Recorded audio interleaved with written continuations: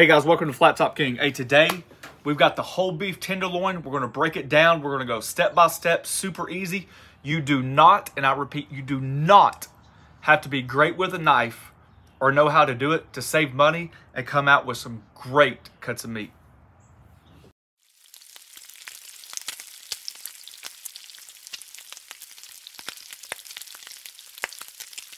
All right, so here's a method behind the madness, really quick, okay?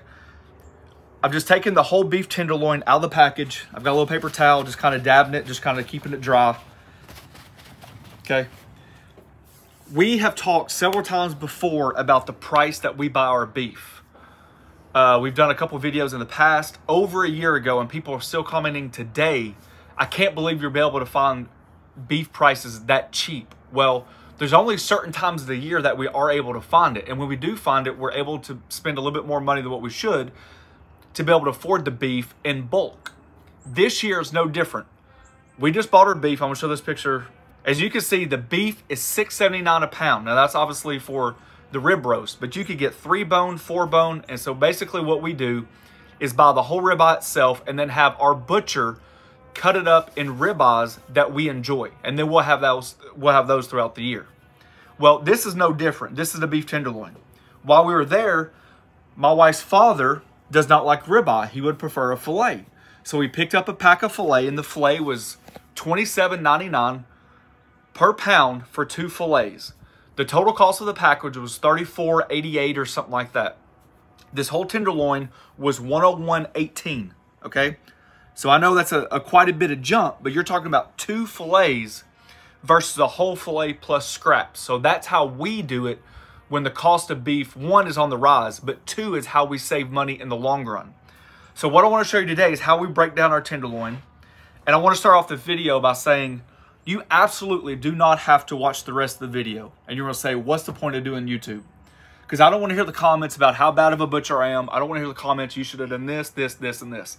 The whole point of this video is to show the average person. You do not have to be scared of a tenderloin or any other cut of meat. We've got different knives here to show you that you don't have to have the best of the knife in the world. You don't have to have a $380 slicing knife. All you have to have is some basic knowledge, some basic skills, and we're going to get you through it. Okay? This is for the beginners. This is for the people that say, I've never done it. I don't want to mess it up. I'm the same way. I don't like ruining my money either. But we're going to show you step by step. Okay? You guys okay. comfortable? You ready to go? All right. As anything would say, you got to have a sharp knife. Now, I said it doesn't matter which knife. This is just our standard steak knife that we have in, what, eight or 12 of them in our little set. I've got a fillet knife. I got a chef's knife. I got a nice slicer, okay? I've got a bowl for scraps that are going to be basically non-edible. I've got another bowl for scraps that are going to be used. You could use it to help um, fresh grind. You can use the fat to render out like tallow and use it for something else good fat. There's a difference between good fat and bad fat, or scraps and bad scraps. You can grind up the scraps and add them to ground beef. Right? Yes, and make the ground beef more flavorful. You can take one of those ribeyes that we talk about that we get for sale all the time that we just showed at six seventy nine a pound. Take a pound of ground of, of um, a ribeye out, add some fillet scraps to it. I'm telling you, the fat content is incredible. So that's what I'm saying. There's good and bad, and obviously the third part is all the good pieces of meat. All right, so enough chit chat. Let's get started. The basics, okay? I am not going to use culinary terminology to describe this whole tenderloin because I want it to be for the basic person, okay? Let's just say you got the fat part, the skinny part, okay? That's obvious.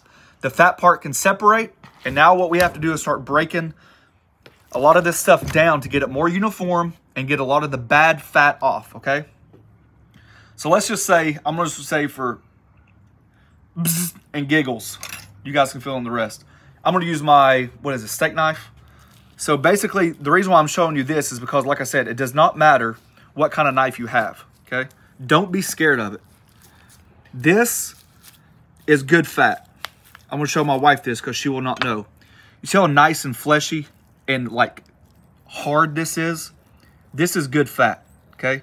The string stuff that I'm pulling the fat off is typically bad fat. You see how it's stringy? You guys wouldn't want to eat that. Can you guys see the difference? Can you see that? No, I cannot see the difference. You see how you can't pull that? oh yeah. That's bad. You Isn't wouldn't that want called like sinew or or no? a little bit of it, yes. But they're like I'm saying, so this fat right here is crumbly. This is very, very good fat.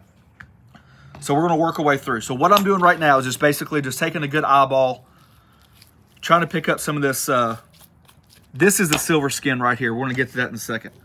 Basically, I'm just cutting the excess fat off. Not excess, the excess.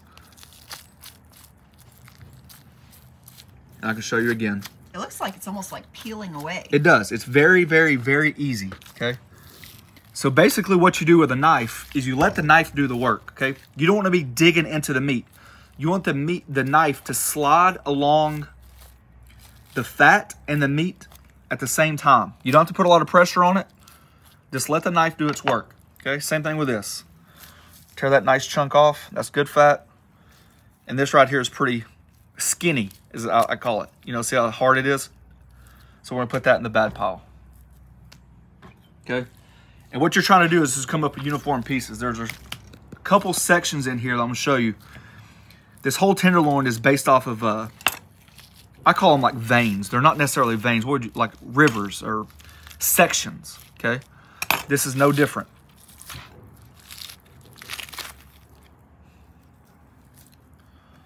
Good and bad. Okay, just let the knife do the work. If you don't feel comfortable cutting toward yourself, you can always cut away from yourself. Some people prefer that.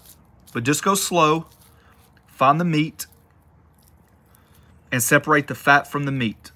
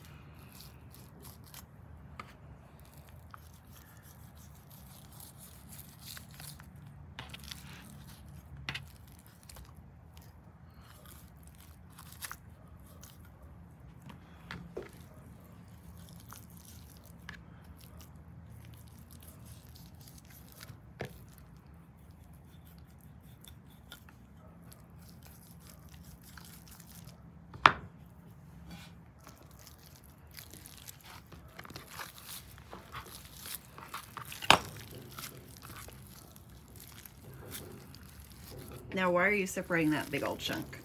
Well, this is called the chain. Okay, they all have got it. Depends on how far it runs up. A lot of people will throw this away because it's not worth their time. We're going to go over this in a little bit. Um, but this is called the chain. This is the culinary term, the chain. It's got large chunks of fat. You cut this off. But this is what I would use for the burger grind. See, that right there is very good fat. Plus, it's packed with flavor for the beef. So we're set that over there. I want to dissect that in a second. Okay. So what you're doing here, this is a good point of view. I'm going to switch my knives a little bit. The knives does not matter, okay? It's all about the person. You just get comfortable. The reason why I showed the knives is because I want the person at home to feel comfortable with whatever size of knife or knife they choose. When you see it online all the time, there's always people with like these great knives and you know they're sharpening steel and all that stuff. And I think sometimes it could be intimidating, especially from the response I get for a lot of people on the flat top grill. It's the basic questions. Is this the simplicity that it can be? So as long as you feel comfortable with a knife, then that's when you go forward. So you can see how tender this is right here. But you see this right here gets a little bit tougher. I actually prefer the beef. Some, I mean, I actually prefer the fat. Some people don't, so we're just going to slice a thin part off. We are not scared to have fat on our fillets at all, around it, in it, or anything else. All right. So here's another part of the fillet that everybody's got, depending on what size of fillet it is, what size of cow it is, and all that stuff. Depends on how big this part is here. Some people want to keep it on. Some people will take it off and make a, a smash style fillet. However you butcher your fillet is really up to you. As long as you're doing it and you're happy with the results, nobody's going to care. Nobody's going to come to your house and say, I want an eight ounce fillet, and you gave them a ten ounce fillet, or you you made it, and and one piece is even and one piece is uneven. That's not what this is about. This is about breaking it down the easiest way possible, okay? Without tearing up the meat. So basically what I'm doing is finding those large pockets of fat. That's a good that's a good chunk of fat right there. See how hard it is?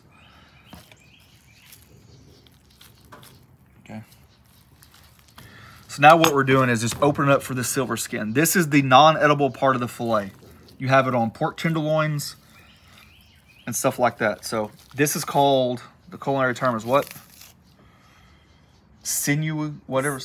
I don't know how to say it. Yeah, I don't know how to say it either. I can't speak regular English, much less tenderloin English. All right, so here is a trick, okay? I'm gonna do it with a chef's knife to show people that you don't have to have the best knife in the world. There is a trick to it, okay? The sinew is very, very, very, very tough. It's unedible. So, but what you wanna do is, is take your knife blade and get underneath it without tearing up your meat. You follow me? Mm-hmm. Okay. You can cut against the sinew, which will allow the meat to release from the from the sinew without carving into the meat. Okay? So what we're gonna do, use our hands, make a small incision. I'm trying to cut slice it so you guys can see it. I'm just letting the knife do the work. Okay? Not very deep cut at all. And what you want to do, work your work your way around the tail and start pulling. Well, that came right off. You never see that. It won't be that easy, I promise. See? So just take your knife tip. You're only talking about that much of the knife. Don't worry about the rest of this. Okay? This is what you're trying to control.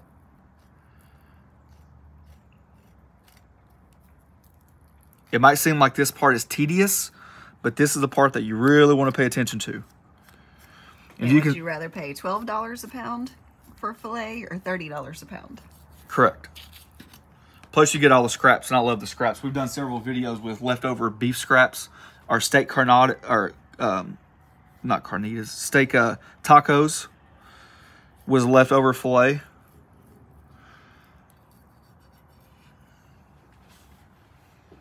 All right, so one more time.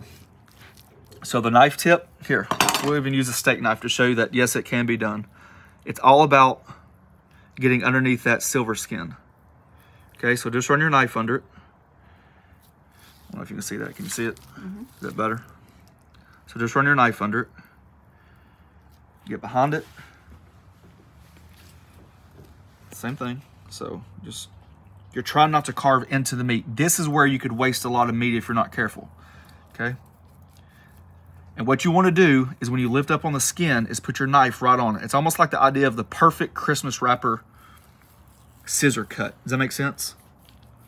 Where you hit it right at the right thing and it doesn't cut the paper or anything. Same thing with this. See how nice and even that meat is? Take your knife blade, get underneath it. Don't worry about small sections. You don't have to cut the whole thing at once. My knife blade is actually facing up. You see that? And I'm letting the silver skin be the thing that I'm cutting against.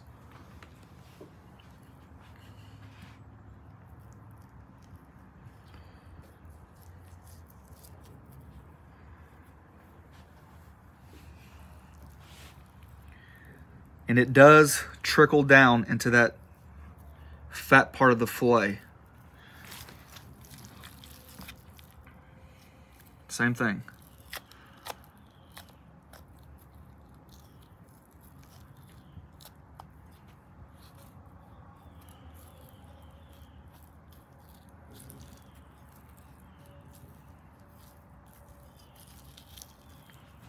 There we go.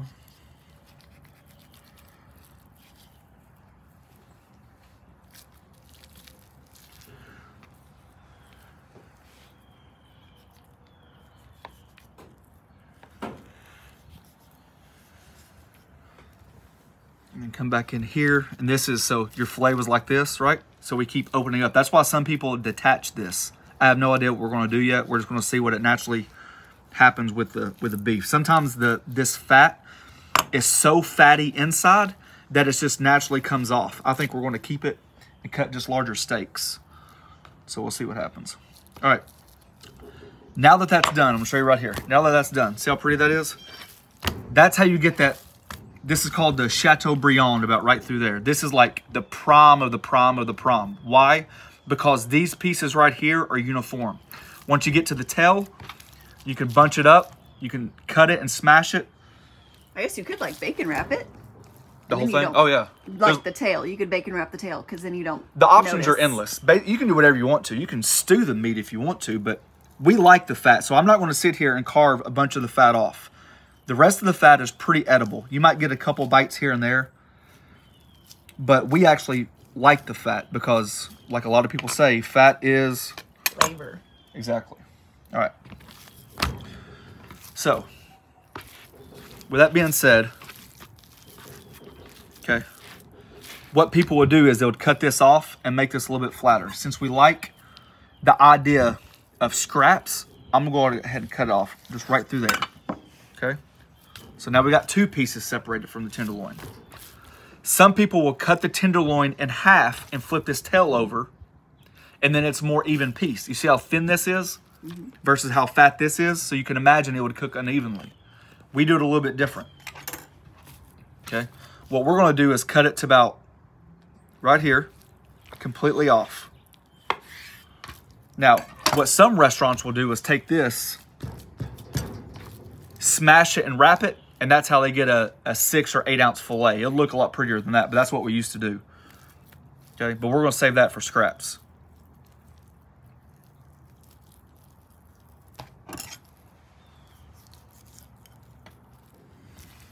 All right. So now that our fillet is pretty much done, whatever you want to do it from now on is up to you. If you want this whole thing to be jerky, be jerky. If you want the whole thing to be steaks, be steaks. Um, let's see. We haven't used this knife. I don't know. This is my fillet knife. Typically, the fatter the fillet is, the skinnier your cut will be because that's a traditional eight to 10 ounce fillet, right? If it's skinny, you have to go a little bit wider. It, the fat part of it's going to go a little bit narrower. So that's why there's going to be different sizes. But all together, we're going to try to keep it the same ounces, which is basically what I eat. So fatten it up a little bit. See what I did there? Instead of having it long and skinny and trying to cut it way out here, go ahead and pat it up a little bit because it's going to make it a little bit fatter. What do you think about right there? However many steaks we get out of this is our personal benefit. I'm not worried about food cost or portion control. I'm not worried about each filet getting eight steaks, eight to 10 steaks out of it because it's ours. That's why I wanted to come to the beginner part of it. This is not no professionalism style butchery. I don't cut 800 of these a week. But I'm just telling you that when you go to the grocery store, don't be scared of it. Okay?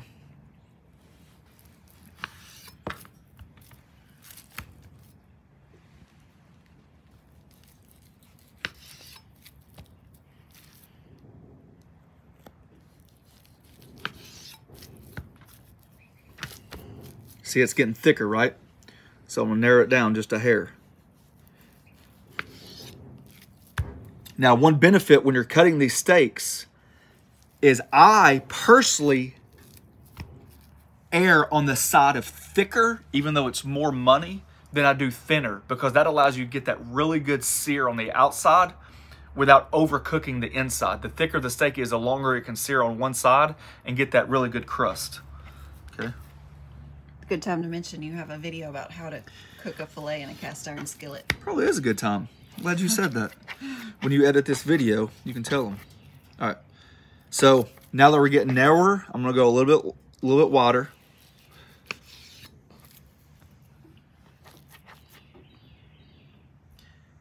If you've ever been to a restaurant and you notice they'll say like two, three ounce fillets, or they'll say like uh, they'll do like beef tips, or they'll say like tournedos of beef or something like that. That's what this is. They can take this beef right here, see, smash it down on this side, give you a presentation side, put butcher twine around it. Then all of a sudden you've got a, a tail meat that looks pretty reasonable. Make sense? All right, two, four, six, eight, ten. Not bad. Ten fillets out of this. Very thick. We could probably got 12 if we really wanted to watch the ounces. But like I said, I like a thicker fillet. All right. This is going to be done the same way, scraps. I just wanted to go over this real quick. So this is the chain. Yes, don't be scared of the silver skin in this. There's a couple different ways. Some people fillet it like a fish, but if you're brand new to this, to like using knives and worried about butchering and all that, we're not going to get to that part. So to, there's so much skin and so much fat in here. I feel like a lot of people would be wanting to throw it away, and we're not going to do that. So I'm just going to cut off the good parts of the fat and save those, which are those big chunks. Okay.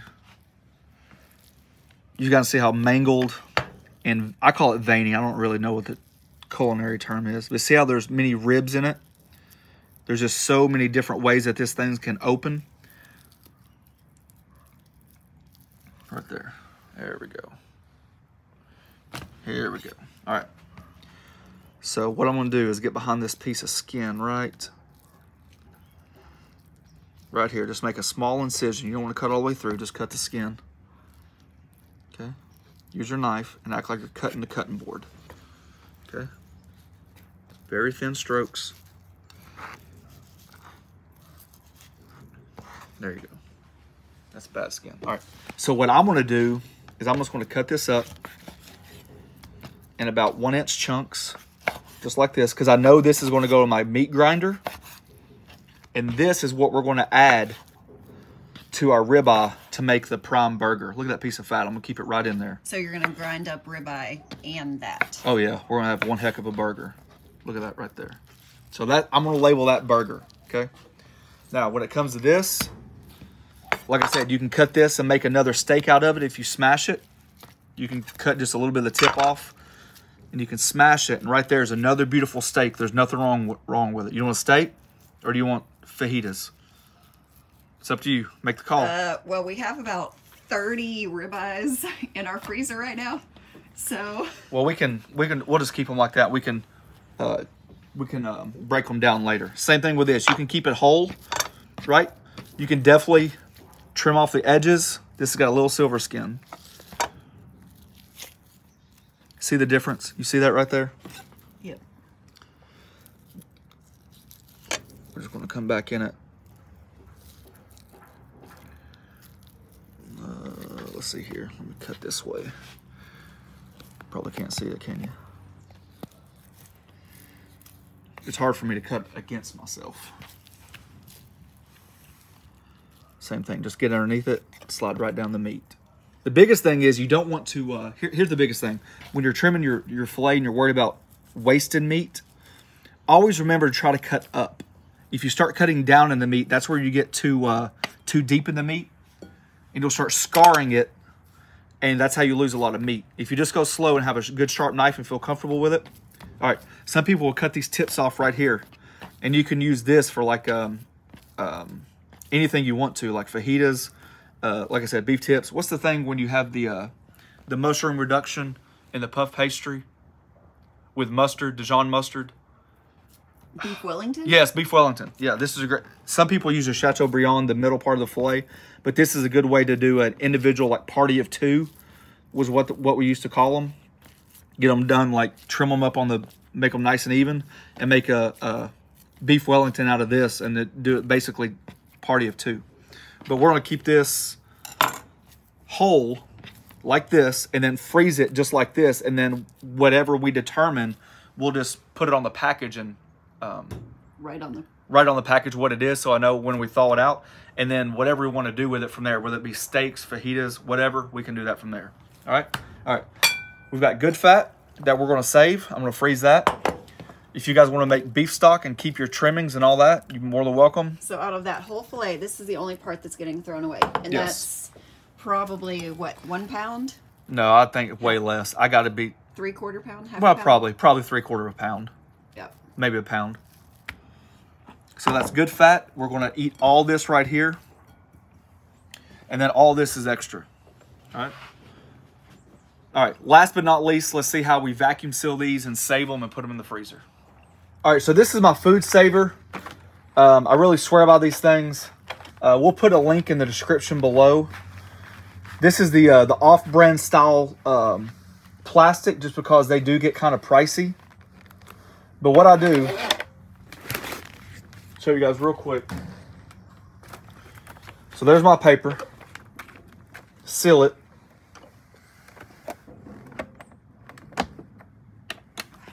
Once that's done, this bottom side is going to be sealed.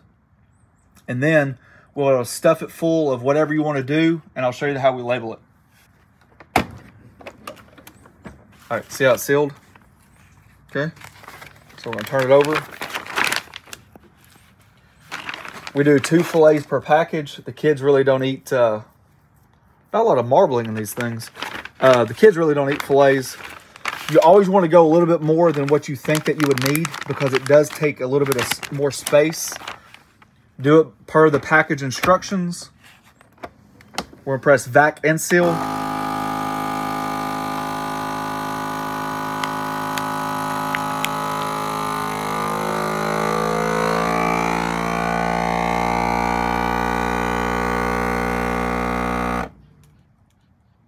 Wait till the Christmas lights go off.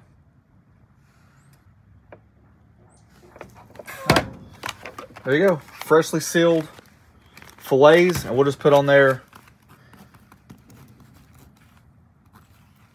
uh, let's see, um, 12, 21. Just like that. So then that way when we go to the freezer, we know what we're getting out. If I had the scraps, I would put fillet scraps. I would put, you know, something like that, ribeye, pork, it doesn't matter. But that's a good way. You just throw these in the freezer, and anytime you guys want steak, there it is. $12.99 a pound. Good to go. All right, guys, so there you go. Hey, that's seven and a half dinners. That's going to be for my uh, wife's dad coming in town pretty soon. So we did the quick math. Uh, like I said, it's like a hundred and like one dollars, seven and a half dinners. What is that? Thirteen. Thirteen dollars and forty six cents. Okay, thirteen forty six. So basically, if you break it down filet dinner for two. So if you break down that per person, $6.75, $6.80 per person. I don't know if there's a restaurant in the world that would sell you an 8 to 10 ounce filet for that price. That's why it's important to break down your stuff. Now, with that being said, I know it's a long video, but I'm going to do the same thing with this pork chop. We're not going to video that, but it's the same thing, same idea. Break it down by the bones. This was $1.99 a pound. And so from there, it's the same thing. We're vacuum seal it, and then all of a sudden we got pork chops in the freezer whenever we want to do a good pork chop.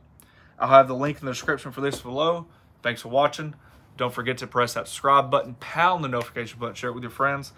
Do not be scared to buy a big chunk of meat and break it down no matter what it looks like. Thanks for watching. Peace.